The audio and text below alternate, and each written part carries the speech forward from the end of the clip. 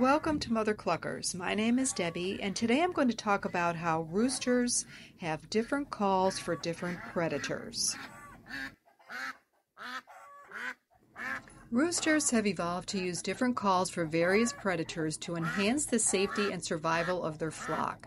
This ability to distinguish between types of threats and communicate specific information has developed over generations through natural selection. Here's a more detailed explanation. Birds of prey, such as hawks and eagles, often attack from above. When a rooster spots one, he emits a distinct, sharp, and repetitive call. This sound is designed to be short and urgent, prompting hens to immediately seek cover under nearby bushes, coops, or other shelters. By signaling the presence of a flying predator, roosters ensure that the flock remains out of sight and less vulnerable to attacks from above. Predators that attack from the ground, like foxes, raccoons, and snakes, require a different response. For these threats, roosters use a louder, deeper, and more continuous call. This sound can alert the flock to move away from the approaching danger, regroup, or head to a safe area where they can evade the predator. In some cases, the call might also signal the rooster to confront or distract the predator, buying time for the hens to escape.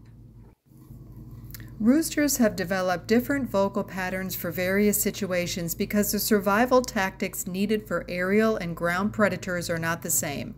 For example, a hawk's swift aerial dive requires immediate hiding, while a ground based threat might demand the flock to scatter or flee in a specific direction.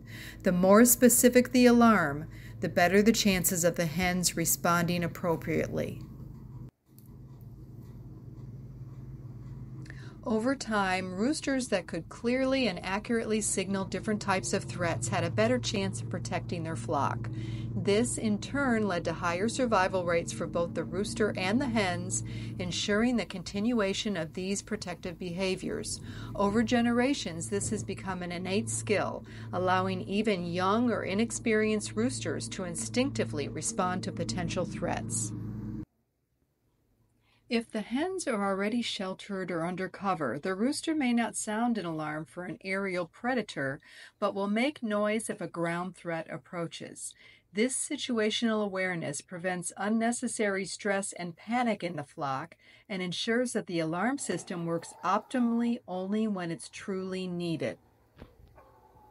The different predator calls reinforce the rooster's leadership role.